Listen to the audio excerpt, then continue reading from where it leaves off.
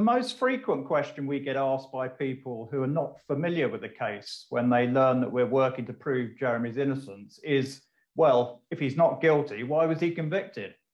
And the answer to that is pretty straightforward. It's because all the evidence that was presented against him at his trial, uh, which, um, which was, was either wrong, misinterpreted, or fabricated. And if you add to that the fact that the judge at the trial uh, had clearly decided, for whatever reason, uh, that Jeremy was guilty uh, and made that very clear to the jury, uh, you have all the ingredients for one of the worst and probably one of the longest running miscarriages of justice in English legal history.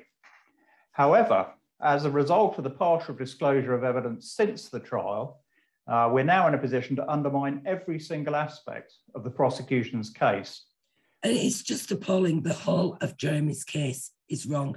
From the evidence we've got that Sheila was alive in the house, there was lights going on and off, curtains opening and closing, as well as the other factors that Philip's mentioned.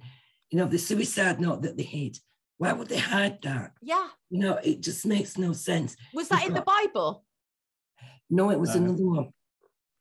It was another one. And it said, I mean, Stan Jones, we only found it a couple of years ago in the documentation.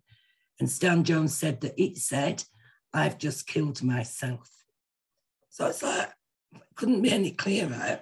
But yeah, and it's it's listed on the HOLMES have uh, the police have a HOLMES data computer system, which in which there is their sort of reference point for documents, and we've got some of those indexes, and it lists on there, it lists suicide note.